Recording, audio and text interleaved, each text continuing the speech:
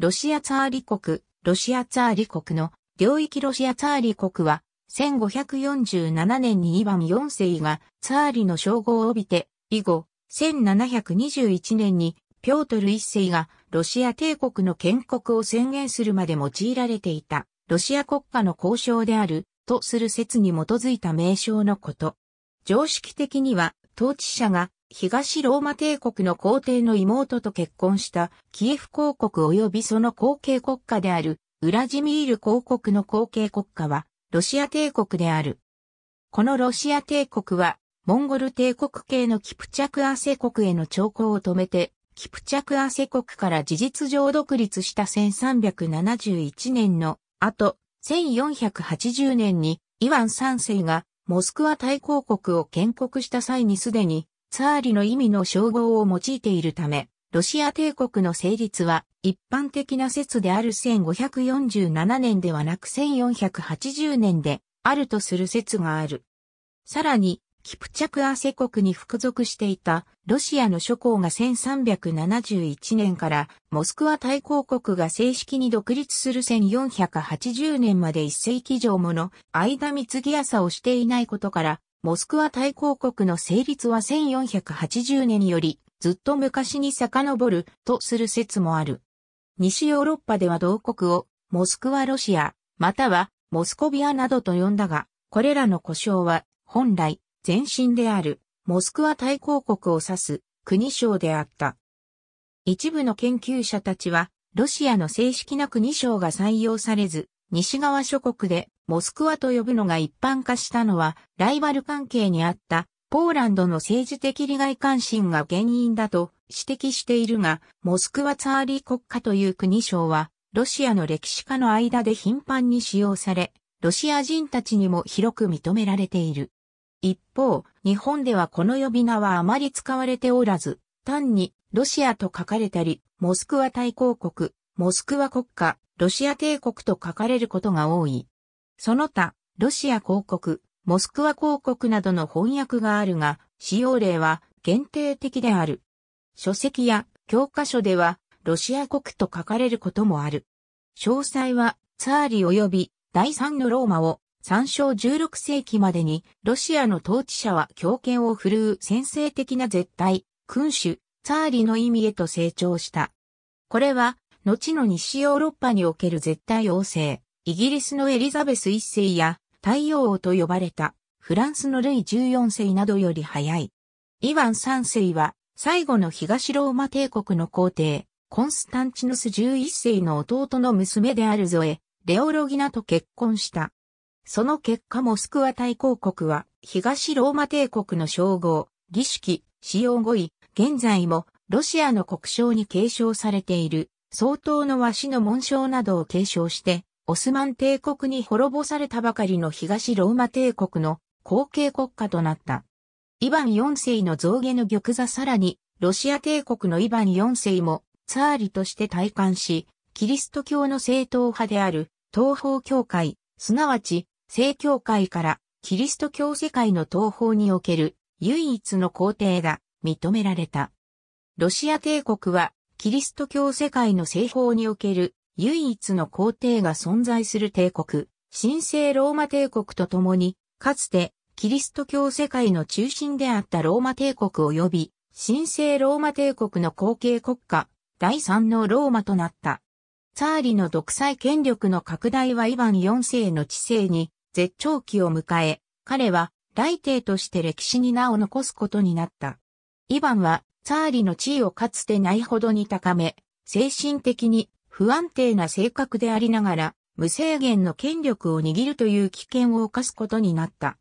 知的かつ精力的な人物ではあったが、イヴァンは被害妄想やうつ病の発作に苦しめられ、その統治方針も極端な暴力によって型をつけるタイプのものだった。イヴァン4世がモスクワの大公の座についたのは1533年、3歳の時だった。シュイスキー家やベリスキー家などの大貴族が摂政の座をめぐって熾烈な派閥争いを繰り広げ、この状態はイヴァンが1547年にツァーリとなるまで続いた。モスクワ国家の帝国志向を反映して、イヴァンのツァーリとしての戴冠式は、ビザンツ皇帝のそれをモデルにした手の込んだ儀式となった。一軍の大貴族の補佐を受けながら、彼は知性の始まりに一連の優れた改革を行った。1550年代に、イヴァンは新しい法典を交付し、軍隊を改良し、地方統治機関を再組織した。これらの改革は間違いなく恒常的な戦争に対応するための強国化政策であった。アレクサンドル・リトフチェンコ、ツァーリ、アレクセイの鷹をスケッチするイタリア人施設ジギスムント・フォン・ヘルベルシュタイン男爵がモスクワの所持に関する記述を1549年に出版するまで西欧人にとってロシアは非常に謎の多い社会だった。この書物はこの滅多に訪れず記述されることもない国についてある程度の知識と理解をもたらした。さらに詳しい情報はイングランドとオランダの商人たちによってもたらされた。彼らのうちの一人であるリチャード・チャンセラーは1553年に北東航路を航海して八海のアルハンゲリスクに至り、モスクワに上陸した。彼はイングランドに戻った後、セバスティアン・カボット、ヒュー・ウィロビー及び数人のロンドン商人たちと一緒にモスクワ会社を設立した。イヴァン4世は彼ら商人をエリザベス1世との往復書簡を交わすのに利用していた。1530年代から1540年代にかけては国内が混乱をきたしていたが、ロシアは戦争と国家拡張を進めた。イヴァンは1552年にボルガ川の下流域にある火山藩国を攻めて、これを併合し、1556年にボルガ川がカスピ海に流れ込むあたりにあったアストラハン藩国を滅ぼした。これらの国、地域を支配下に置いたことで、ロシアは現在のような多民族、多宗教の国家へと変貌した。ツァーリは今やボルガ川流域全域に支配を及ぼし、中央アジアへの足がかりを得た。北西部のバルト海海域への拡張はより困難な道であった。1558年、リボニアに攻め込んだイバンは、その後25年もの歳月を、ポーランド・リトアニア共和国、スウェーデン及びデンマークとの戦争に費やすことになった。一時的な優勢も虚しく、イバンの軍勢は押し戻され、ロシアはバルト海における覇権を獲得することに失敗した。ロシアの軍事的関心がリボニアに集中していることを利用し、1571年にクリミアの支配者デブレト・ギレーは12万人もの騎兵を率いて繰り返し、モスクワを攻撃し、1572年のモロディの戦いまでロシアへの攻撃は続いた。さらに続く数十年にわたって南部の国境地帯はノガヨルダ及びクリミア半国の略奪を受け、地域住民たちが連行されて、彼らの奴隷にされた。南部の防衛線の管理、警備には、年間数万人の兵士の配備を要し、この負担はロシアを消耗させて、社会的、経済的発展を阻害していた。詳細は、オプリーチニナを参照アポリナリーバスネツォフ、ロシアの古い町1550年代後半になると、イヴァンは自分の助言者であった政府や大貴族に対して敵意を募らせていった。歴史家たちは彼の憤怒の原因について、それが政治的対立、個人的像を精神的不安定のいずれによるものなのかを決められないでいる。1565年、ツァーリは国家を彼の私的な領地と公的な国土の二つに分割した。イヴァンは自分の私的領地にロシアで最も豊かで重要な地域を組み込んだ。イヴァンの怒りは、ボヤーレ、商人、さらには平民にまで向けられ、ある者はその場で処刑され、ある者は土地や財産を没収された。ロシアではテロに覆われた10年間が始まり、それは、ノブゴロド大虐殺において頂点に達した。オプリーチニナでの政策により、イヴァンは各地域で指導的な地位にあるボヤーレカモンが持つ経済的、社会的影響力を破壊していったが、彼らこそはロシアの強国化を支え、最も国家の管理、運営能力を備えた人々であった。交易は衰え、ノードたちは重税と暴力の脅威にさらされて、ロシアから逃亡するようになった。農民たちの移動の自由に制限を設けて、彼らを縛ることにより、ロシアの農村社会は法制化された濃度制へと近づいていった。1572年、イバンはついにオプリーチニナ体制を放棄した。通説によれば、オプリーチニナ体制は戦争への人的、物的資源の動員と戦争反対の声を抑えつけることを目的としていた。このような理由であれ、イバンの国外、国内政策はロシアを荒廃させ、スムータと呼ばれる社会紛争と内戦を引き起こすことになった。東に拡大するロシア1584年にイバン4世の後継者となったのは知的障害のある息子ヒョードル一世だった。事実上の政治権力はツァーリの妻の兄である大貴族ボリス・ゴドノフの手に渡った。1589年、モスクワ総主教座を設置。総主教座の創設は、ロシア正教会の分離と完全独立を目指す運動が頂点に達したことを示していた。1590年のロシア・スウェーデン戦争で、フィンランド湾沿岸部を回復。イエルマークの廃止後、再び西シベリアへの進出を再開し、1598年にシビルハン国を滅亡させた。1598年にヒョードル一世が後継者を残さずに死去し、モスクワの竜陸長は断絶した。ボリス・ゴドゥノフは、ボヤーレ、高位聖職者、一般人からなる国家議会ゼムスキー、ソボルを招集し、自身をツァーリに選出させたが、多くのボヤーレ派閥が彼のツァーリ即位への承認を拒んだ。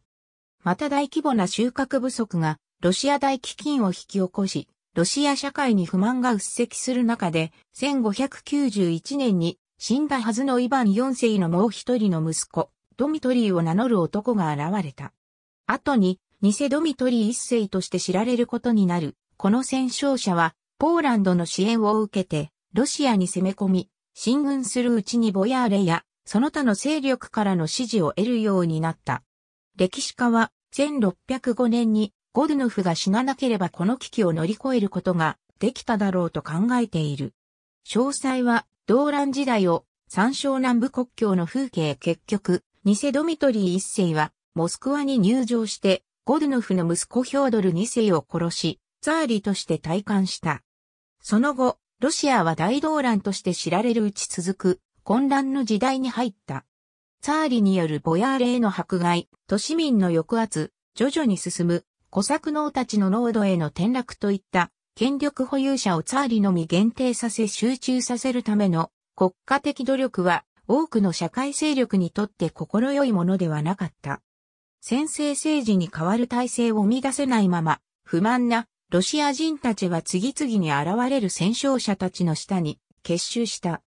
この時期、政治的活動の最終目標はその時の先制者に対する影響力を獲得するか、先生者そのものにとって変わることであった。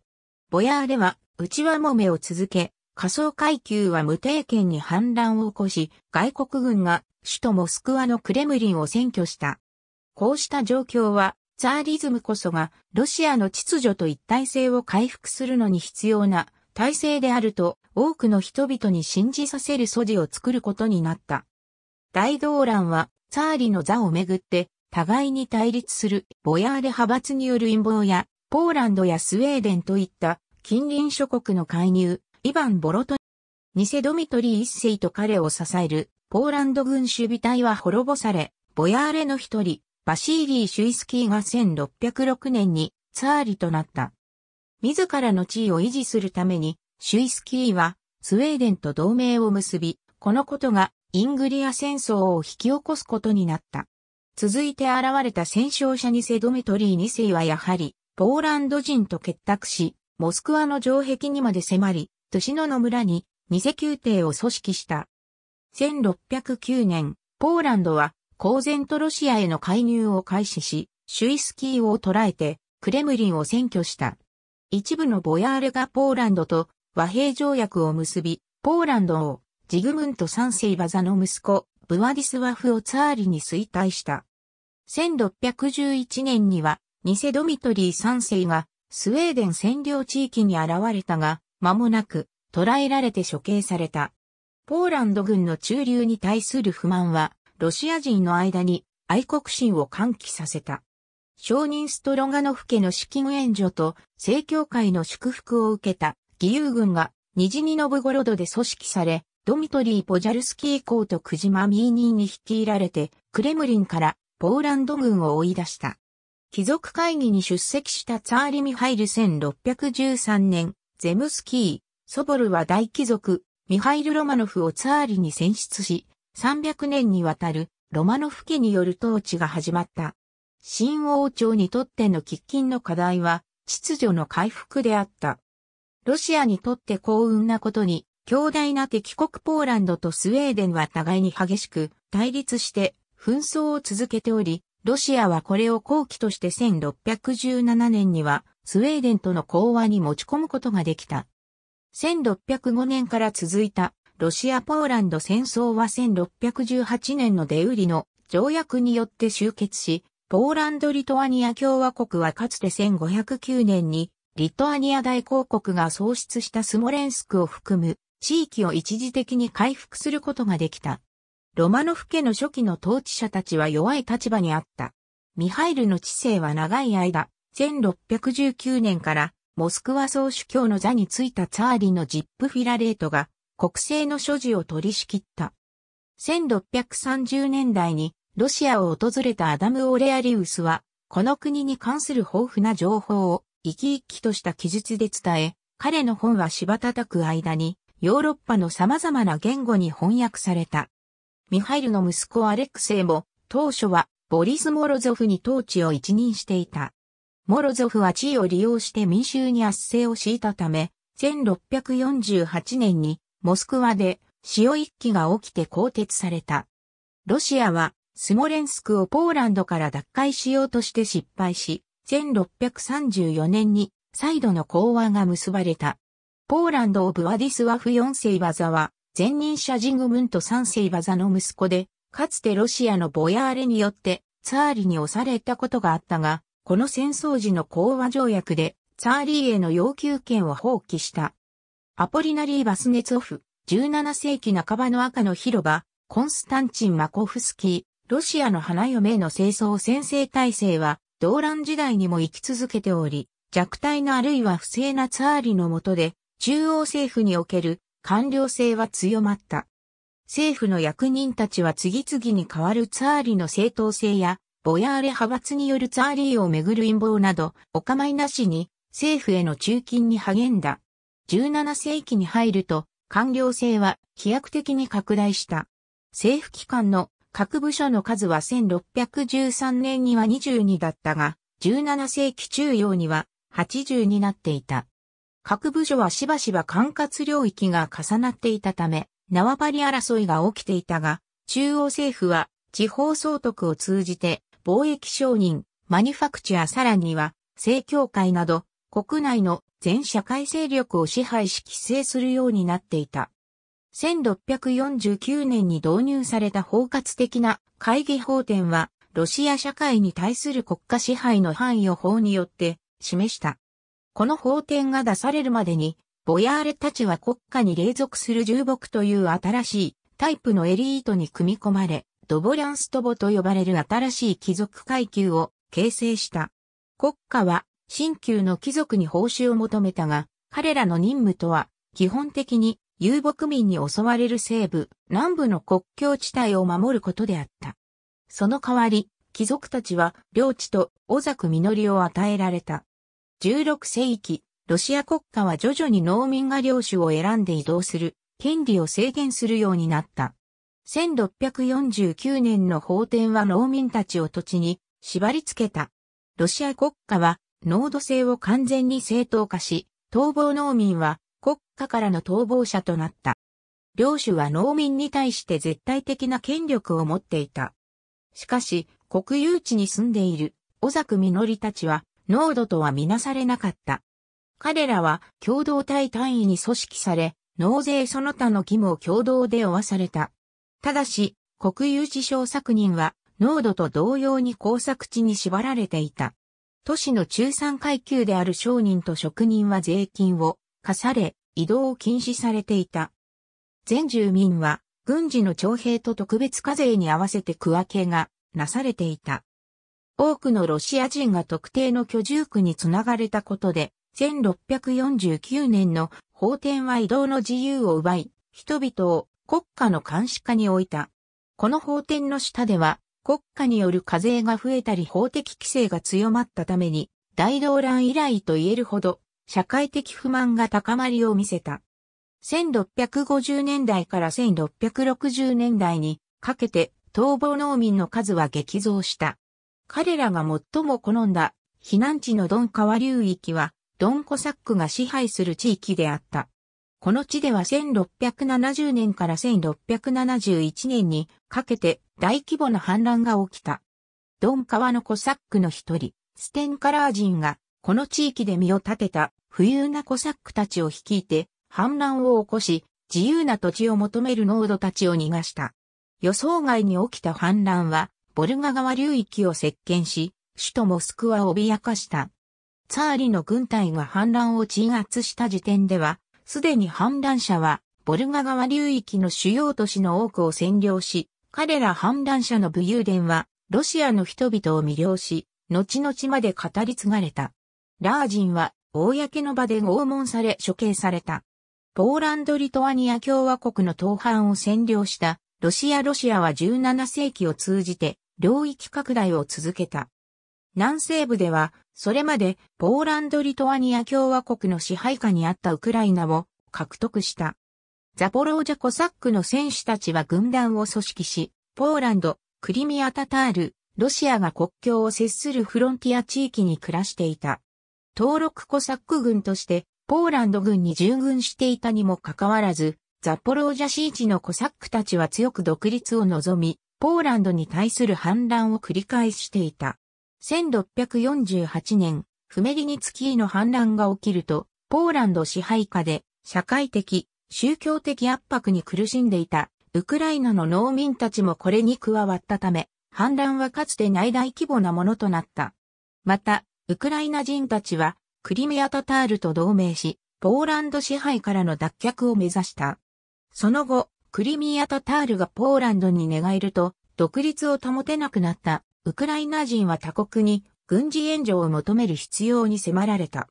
1654年、ウクライナの指導者、ボフダン・フメリニツキーは、ロシアのツァーリアレクセイに対し、ウクライナ地方に対する保護を求めた。アレクセイの承認は1654年のペレアスラフ条約で発行し、ポーランドとロシアの長期にわたる戦争を引き起こした。休戦条約である1667年のアンドルソボ条約は、ウクライナをドニエプル川流域に沿ってに分割し、西部地域をポーランド領に戻し、東部地域をヘイチマン国家として分離した上で、同地域をツァーリの総主権下にある自治領とした。1670年6月24日、スチェパン・ラージンが反乱を起こし、アストラハンでコサック共和国を宣言。1671年にラージンは捕らえられ、モスクワの赤の広場で処刑された。詳細は、古儀式派を三小節小ソフィアの前で総主教ヨアキムと競技変更の有無について論争をする古儀式派のニキータプストスブヤとロシアにおける南西地域の拡大、特に東部ウクライナの併合は予期せぬ収穫であった。大部分のウクライナ人は正教徒だったが、彼らはローマカトリック及びポーランドの対抗宗教改革と深く関わってきており、こうした経験が彼らに西欧の知的潮流をもたらしていた。キエフモヒラアカデミーを通じて、ロシアはポーランド及びその他の中央ヨーロッパの国々、及びより多くの正教会世界と交流を持つようになった。ウクライナが持つ交流の幅は様々な分野におけるロシアの文化的想像力を刺激した一方で、ロシアの伝統的な宗教実践や文化を蝕んだ。ロシア正教会は自分たちの典礼書や宗教実践が知らず知らずのうちにコンスタンティノープルのそれと乖離してしまったことに驚いた。モスクワ総主教ニーコンはロシアの典礼書をギリシア式と一致させることを決断した。ところが、ニーコンはギリシア式との一致は、正教ではない堕落したカトリックの不適切な流儀の侵入、悪魔の所業であると考える多数のロシア人から激しい抗議を受けた。彼らは1551年の百姓会議において公式に確立された伝統的な典礼こそが正しく、また、典礼は単なる形式ではなくそれぞれ古来から伝わりかつ百姓会議で認められた重大な意義を持つため、その変更は重大な競技の歪曲であると考えていた。ニーコンによるロシア正教会の改革は、1667年2月10日に、反、ニーコン派の EN、ジョセファス2が総主教に即位した結果、シスマを引き起こした。改革を受け入れない反、ニーコン派の人々は、小儀式派と呼ばれ、彼らは、主流派ロシア正教会及び国家から異端として、断罪され苛烈な迫害を受けた。1682年4月24日、小儀式派の有力な指導者の一人だった、長司祭アバクームは、家計に処せられた。教会分裂は、決定的なものとなり、多くの商人や小作実が、小儀式派教会に加わった。ツァーリの宮廷もウクライナ及び西欧の影響から免れなかった。キエフは、不死教ペトロー・モヒラによって創設された学術性の高さで名高いキエフ・モヒラアカデミーを通じて新しい知識や思想の伝達装置の役割を果たした。この新知識のロシアへの流入はバロック様式の建築、文学、シモン・ウシャコフの遺婚政策などに結実した。その他にロシアと西欧との直接のパイプとなったのは、国際貿易の進展とそれに伴って増加した外国人の到来である。ツァーリ宮廷は西欧の進んだ技術に興味を示し、特に軍事部門での革新には熱心だった。17世紀の終わりまでに、ウクライナ、ポーランド、そして西欧の文化の浸透はロシアの伝統文化への固執を失わせ、抜本的な西欧化改革への準備を整えた。バシーリー・スリコフ、イエルマークによるシベリア征服東方への領域拡大は比較的大きな抵抗を受けないまま進んだ。1581年、商人ストロガノフ家は毛皮貿易に関心を抱き、コサックの狩猟イエルマークを雇って西シベリアへの遠征を行わせた。イエルマークはシビル藩国を征服し、帯川とイルティシュ川異性をロシア領と宣言した。漫画ゼ屋をはじめとする拠点から、商人、交易業者、探検家たちが、帯川、イエニセイ川、レナ川さらに太平洋岸へと東に進んでいった。1648年、探検家のセミョン・デジニョフは北極海からベーリング海峡に入り、アメリカ大陸とアジア大陸の渡韓が通行可能だということを発見した。17世紀半ばまでにロシア人はアムール川と新町の辺境地帯に到達した。バシーリー・ポヤルコフやエロフェイ・ハバロフラによる満州北部のアムール川流域での新朝政府との新土国境紛争を経て、ロシアは1689年に中国と和平を結んだ。ネルチンスク条約により、ロシアはアムール川流域に対する要求を取り下げたが、バイカル湖の東に接する地域及び北京との交易ルートを獲得した。中国との和平は同世紀中央に実現した太平洋への到達ルートを安定的なものにした。イリア・レーピン、二人のツァーリ、イヴァン・オセイとピョートル。この変化の原因をピョートル一世の先見性、エネルギー、決断力に求めるのは決して的外れではない。